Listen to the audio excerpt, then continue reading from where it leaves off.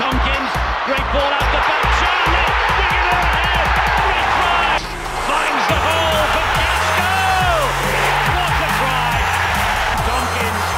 He's got Charlie with him. He's not going to need Charlie. Outstanding try. Yeah, it's 3 0 at the moment, and you know, I, I want it to be 4 0. They will not want that. Realised there's no one out there. He's going himself. He's got a bit of pace. He's got a bit of weight. He's got four points. I've never been shy of a bit of a uh, handbag.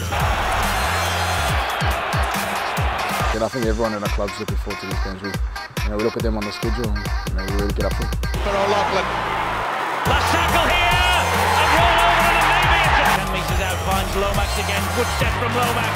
Gets the ball away. Try. Like every Sainsbury's in Derby for the last hundred years, it'll be competitive and both teams will want to win. Sean. I know I spoke to you after the game on the on the weekend and you were in a bit of a disbelief of how it all came to be but uh, have you sat down and reviewed it now? Yeah i have. I've jack. Yeah it was it was a you know it, it was a good performance. The last 20 minutes what we did was was outstanding you know to come back but um there was, there was the first 25 minutes when we weren't at our best and we're at 26 points and which was just unacceptable. And, and um, you know we're working on it this week. We know there's things we need to fix. Uh, we're up against a very talented St Helens team this Friday, and if we make the same mistakes against them, then we'll lose the game. It's as simple as that. You know, it's a, it's a massive, massive game for the club. It's a big game for St Helens, so we, we need to make sure that we concentrate and do the right thing at the right time. On my own, it was about me getting through. It really wasn't. You know, it's about seeing how I win, and you know, there's a lot of a long way to go for me to get to the form that I want to get to. But you know, I was just happy to get through it unscathed and, and, and get away with the win, to be honest. And and as a team, you know, a bit of the same. Really, I thought we got through the game, but I thought we didn't play as well in patches as we could and as we have in the past. So we've still got a lot to work on. So, Mike, how happy does a does nil in a team over the weekend make you? Yeah, yeah, no, it was good. I think um, we've done it a few times this year, and, and, and when defensively we're at the at that level that we were at weekend, then it, obviously it is pleasing from a coaching point of view. And um, London had just rattled up 60 odd points the week before against Warrington, albeit the week before the Challenge Cup, but still, you know, had rattled up some points. So to keep them to nil and, and to put the, the to do as well defensively as we did with our kick pressure and keeping them in their own 20 was was real pleasing. After the match, I think Mike went on record and said, you know, you got you were the man of the match for him. And how much does that mean? Does that sort of spur you on to do same same sort of stuff again? Yeah, it does. Yeah, I think I think it's, it's always nice to be picked out with some praise off your coach, and hopefully, hopefully I, I did earn it, and uh, I, I, I, I thought I've, I've had a good game.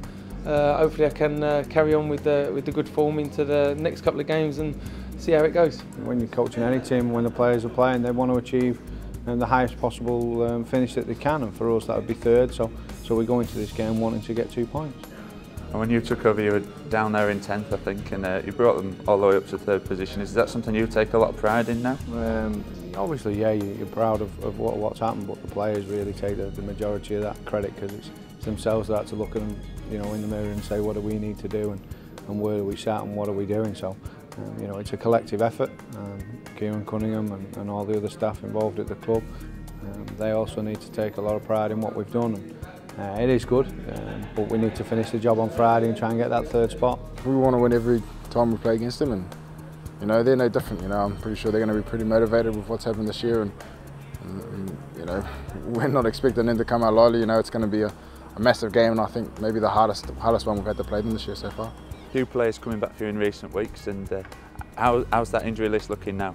Well, Stu Fielding's available, Gil Dutson's available, Chris Tucson's available. So in the, in the middles where I want the most um, competition for places, we're looking very, very strong. So I've got some headaches to make on my, on my team selection this week, but you know we'll be putting a few players in what I've not played for a long time, and that's what makes sense of favourites. It's going to be uh, fireworks, I think. Um, it's going to be a very uh, electric uh, field down at DW, so hopefully we can go there and get the win. This this week you're wearing the Joining Jack shirts and something that rugby league's really got behind. It's good for Saints to get behind. Yeah, it's brilliant. We're, we're more than um, delighted to be involved and helping out where we can. Kris Radlinski approached the club a while ago to ask if we could make this a, a special occasion for the Joining Jack, um, and we're more than happy to help. And I think the rugby league family really shows its true colours at times um, like this. And obviously, it's a really difficult situation, but um, anything we can do as a club, we'll be, we'll be delighted to help. Yeah, it's fantastic, and it's what the rugby family's all about. No matter who, who you support and where your your uh, your loyalties lie, we still all come come back and, and get behind charities like this. And same with Bradford, we all got behind Bradford when they was in trouble, and, and that's what makes us the best game in the world. There's no question about that. Andy Johnson, what his family's been through, I can't imagine. And uh, if we can make any benefit to his, his charity this week, then it, it will be great.